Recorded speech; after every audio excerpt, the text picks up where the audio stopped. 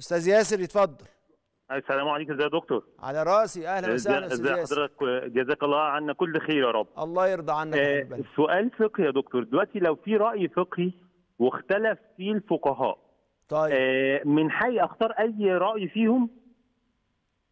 هو السؤال دوت وإن كان وإن كان يعني سؤال فيه كده حركة أنا عايز أقول لك حاجة. هو. مين اللي مين اللي هيختار؟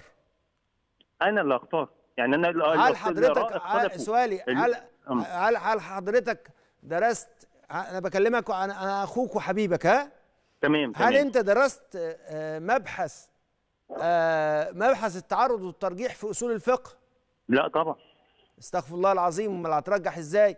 طب هل حضرتك درست مش هرجع أنا بتكلم الآراء اختلف الفقهاء ما أنا هو اختلفوا. بكلمك والله والله أنا بكلمك والله ببراءة. آه، سؤالي سؤال بريء ما فيهوش أي حاجة. لا طبعا ربنا يبارك فانا. بسألك سؤال. انت درست التعرض والترجيح؟ لا. طيب إذا كانوا هم مختلفين مثلا زي مثلا القرء ده بمعنى الطهر ولا بمعنى الحيض؟ حضرتك دارس علم المعاجم اللغة؟ لا. استغفر الله العظيم. طب حضرتك درست مصطلح حديث عشان تعرف أي الروايتين أرجح؟ لا. طب طب ما جايز حضرتك درست مثلا علم زي علم مثلا البلاغة ونعرف إيه المقصود بهذا؟ هل حضرتك درست علم البلاغة؟ آه دارس علمي بقى أنا مدرس لغة عربية. حلو قوي قوي قوي يعني أنت تع- تعرف أنواع الدلالات. فعارف آه، دلالة العبارة ودلالة الإشارة ودلالة الدلالة ودلالة الاقتضاء. هو بص يا دكتور هو أنا مش يعني أ- يعني هنجاوب على بعض آه أستاذ بس برضه وال- وال- آه، أنت مش أنت. أنت مش واضح إن إحنا أصحاب يعني فأنا بسألك آه لا مش بالقوة دي يعني أنا مش أمنت بالقوة. أنا آه، أنا أمنت. بالله أنا أمنت بالله طب هقول لك سؤالين بس صغننين عشان نعرف نعمل الكلام ده ولا ما نعملوش والله اتفضل طب اتفضل أنت عارف مناهج المفسرين لا طيب يا سيدي إحنا عشان نرجح ما بين الفقهاء لازم نعرف كيفية التعارض ما بين الأقوال ولازم نعرف تحريرات المذاهب. يعني مثلا. على سبيل المثال مرة واحد جه قال لنا كده مكتوب في الكتاب كده والله لا أقول لك حاجة لطيفة خالص والله تضحك توقع الواحد من الضحك الراجل. قال لك إيه؟ قال لك يا سيدي يجوز لو واحد مات وعليه صلاة أهله يصلوا عنه. قال له قلنا له إزاي الكلام ده يا ولدي؟ الصلاة دي عبادة بدنية ما ينفعش حد ينوب عن حد فيها. قال ما هو في الكتاب قايلين اهو في كتاب الفقه اهو ما في الكتاب فقه. وإذا مات وعليه الصلاة إيه اللي حاصل؟ كفر عنه أولاده. قلت له كفر عنه؟ ده لما يكون هو كان الصلاة دي صلاة منذورة فعليهم إن هم يكفروا عنه كفارة يمين. أنا عايز أقول لك إيه؟ إن بعض الناس اللي بيقولوا لنا إن أنت روح اختار من الأقوال الفقهية قد يكون هو عنده مش مشكلة في تحرير المذاهب الفقهية. ده إحنا عندنا واحد زي النووي والرفعي قاعدين بيت بي بي بيتخانقوا هو مين القول المنسوب للمذهب. فكلمة إن المذهب كده أو كلمة اختلف الفقهاء كده مش حقيقي والله. ده كلام كده مش علمي كلام مش دقيق. طب والحل إيه بقى؟ أقول لك أقول لحضرتك حاجة. الحل في الحقيقة إن إحنا لما بنروح لطبيب لو حد بيتكلم بقى على كهنوت المشايخ هل في كهنوت الأطباء؟ يعني الأطباء عندنا كهنوت؟ يعني ما الأطباء بيختلفوا والله العظيم. أنا لسه بتعالج في من شفايفي واخد دواء كده واخد دواء كده وضربوا المسألة. فلو اختلف الأطباء أنا أقول إن الأطباء دول عندهم كهنوت لأنهم بيلزمونا بإن إحنا ناخد الدواء. ما حدش يقول لي في خلاف هو نفسه والله. هي فكرة المرجعية بس.